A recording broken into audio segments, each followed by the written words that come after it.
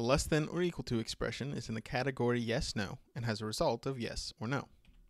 The purpose of this expression is to check if the first value is less than or equal to the second.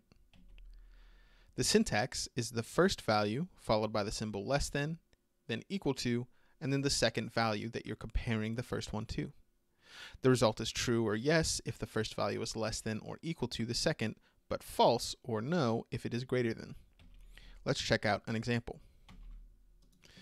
When in the assistant, we can type in the information like we saw in the syntax. This says that 1 is less than or equal to 9, which would return true. On the other hand, if we had 0, it would return false because 1 is actually greater than 0. You can also use this to compare things like dates to see if one date came before or is the same as a second. Thank you so much for watching. If you'd like to learn more, please check out appsheettraining.com.